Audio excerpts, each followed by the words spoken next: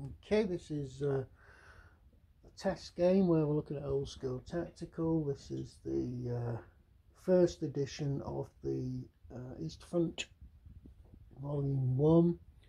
I'm looking at the Brandenburgers um, scenario. Now, a couple of things to mention here. If you are going to get this, don't get the first edition, right? Because the first edition was changed for the second edition. There's a new set of counters, which I believe have only got better artwork on them, though I'm not 100% sure on that. Um, there's also some extra scenarios in the sort of second edition, uh, particularly a couple of learning scenarios, because there are no learning scenarios in this. This first scenario assumes you know what you're doing which is fair enough. I don't particularly care because I'm just learning the game anyway. I'm not trying to win anything. Playing solo as well, so you're only beating yourself. Um, other things I'd note: the counters. Now they've got a little bit of rounding on them, but they're not. They're probably not to taste the of people who like rounded counters. And the only problem is if you try and clip them with a two millimeter clip, it does nothing.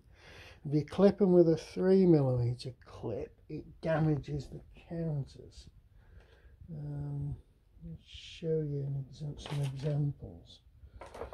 Right, now this just might be my clippers, but you can see here, uh, see these little white marks all around the edge of the counter. That's been caused by the clipper.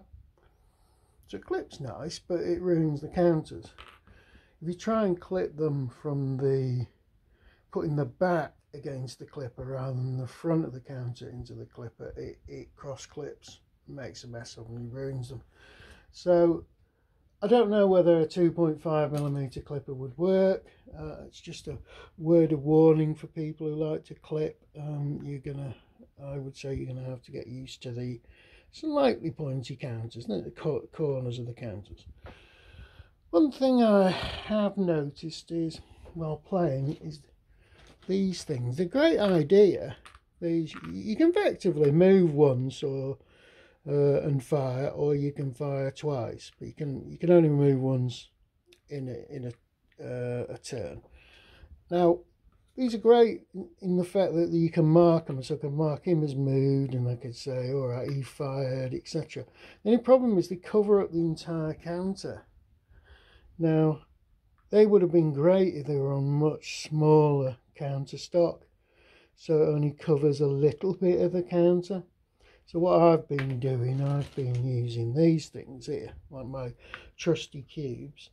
So I'm saying green I've moved. Well, let, us show better an example. Let's say green I've moved. Uh, yellow, sorry, red means I've fired. And uh, yellow means I'm used. Okay. Now the reason I like these is because I can see at a glance, I don't need to see the art, that I know how strong this counter is. So I know this counter um, has got a, an attack factor of 3, defense factor of 4 and a range of 6. I don't have to, because other people, I've watched them playing these games and they're constantly sort of going, sort of going, oh, move the counter out of the way, put the counter back um, that's just a personal thing. I have noticed that these um, this chart that I printed off looks really clever, but it's it's too messy. What what you need to do with this game is get a combination of a card which has the terrain feature, an example of the terrain feature, on the terrain chart with this. Now I've actually eventually just gone to using the terrain chart as it is without the illustration. Uh, it's not a big issue, but uh, it would have been nice if they'd done that. Anything else I can think? Uh, this is really, really good. Having these tracks, so you're not having to use all the tracks at the edge of the board. That's really good. Um, this unit, this thing, the unit data chart, Mm, I don't think it's that much use. Uh, the cards, you're not really going to use them that often. The I think the cards are really important for these ones, where you've got your uh, range and penetration charts on them. Uh, so uh, I don't know. It's it's a personal thing again. Use your cards. Use that data sheet type thing. I've actually laminated it so it's uh, infantry on one side and armor on the other. Whatever you want to do. Um, anything else? No, that's really comments at the moment. Um, in terms of the components and playing. Now, the actual game itself, I'm really liking this. I like the rule. I like the simplistic rules. Uh, there's there's enough chrome in there to make it a satisfying experience.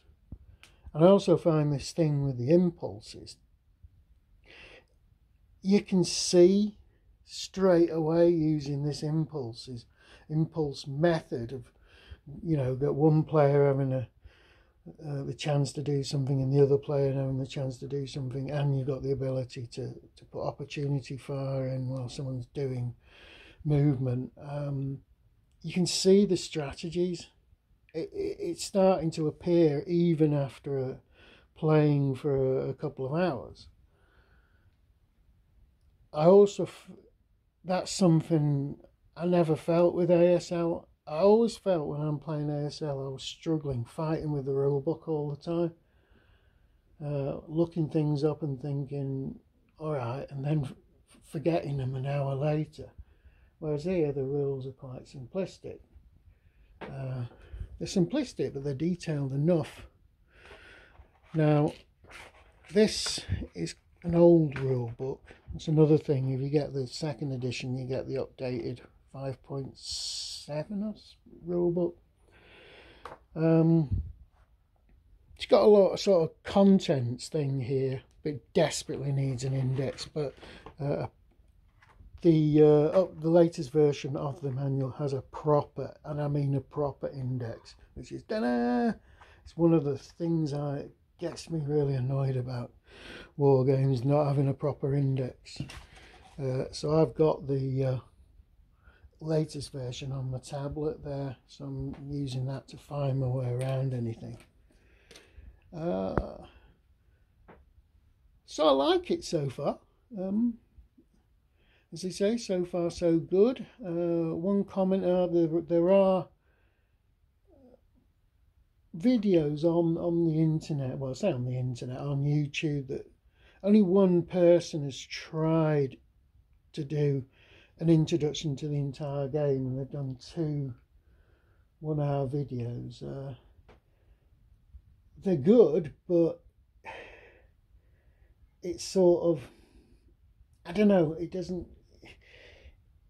it doesn't cover things in a logical way as far as I'm concerned but that's that's neither here nor there and there are other people who've done loads of great playview videos but because it's just a playthrough you're not seeing all the rules, you're just seeing stuff as it crops up in their game. I'm actually tempted to do some rules videos of my own. But I will say that if I do rules videos, they're for me to learn the game. They're not there as a definitive teaching tool. Because I've had I've had some comments uh, on the on my videos where I go through the rules and people saying, "Oh, you've got that wrong." you're doing you're doing more harm than good. So I'll just mention that if I do any rules videos, they're primarily for me, and I apologise if I make any mistakes, but I, am certainly not intending them to be uh, a, a, teaching tool for everybody else. Um, I don't know what to say really any more than this. The, the, the, light I like the map boards, and I like this way that everyone says, "Oh, you got this huge map board," but just cover it in rule books and cover it in play charts. You know,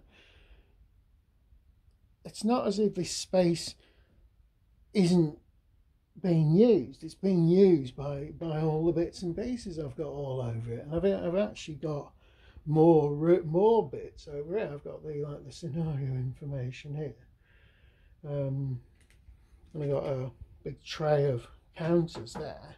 So yeah, I don't see an issue with it. Uh, I'm not sure what the exact size of it is. I think it's about three foot by two and a half feet or something like that. So it wouldn't require a huge table. And that's it. Thanks for watching.